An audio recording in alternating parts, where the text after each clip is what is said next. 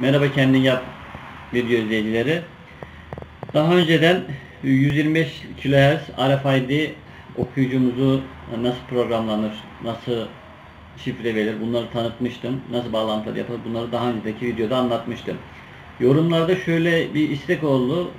Bunlar şi- fabrikasyonu şifresini birisi değiştirdiği zaman eski haline nasıl alırım? İnternette de bu bilgi pek yok. Ben de bu yorumlardaki fazlalık e, soru fazla olunca buna cevap vermek istedim. Bunun için şöyle yapıyoruz. Normal şartlarda önce bir çalışmasını tekrar göstereyim. Çalıştı. Key'imizi okuttuk. Bu şekilde normal çalışıyor. Şimdi fabrikasyonu çekmek için şöyle yapacağız. Enerjiyi kesiyoruz tamamen. Kartın üzerinde open yazan bölge var, nokta var.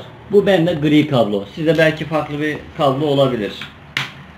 Eksi ile gri kabloyu birleştirip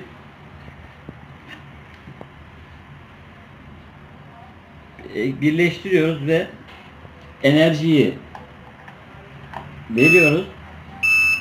Üç kere uzun bip sesini duyuyorsunuz. Kırmızı ışık hızlı hızlı kırmızı yeşil hızlı hızlı yanıp sönüyor.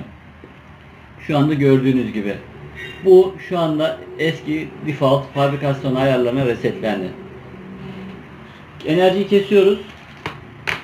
Gri kablomuzu ayırdık. Sadece eksi kablomuz kaldı. Tekrar değdirdik. Enerjimizi taktık. Tekrar keyimizi okutalım. Yani daha önceden okuttuğunuz keyler tanıtılı kalıyor. Burada değişen sadece programlama şifresi. Yani default'u kare 1 2 3 4 5 6 ama eğer değiştirildiyse bu şekilde sıfırlayıp eski şifresini alabiliyorsunuz. Yani birisi değiştirdi ya da unuttunuz ya da ona benzer bir şey olduğu zaman bu şekilde fabrikasyona çektiğiniz zaman bütün işlemlerinize devam edebilirsiniz. Eski haline gelir. Bununla ilgili çok fazla yorum vardı. Umarım sorularınıza cevap olmuştur. Kanalıma abone olmayı unutmayın. Hepinize teşekkür ederim. Umarım bilgi faydalı olur.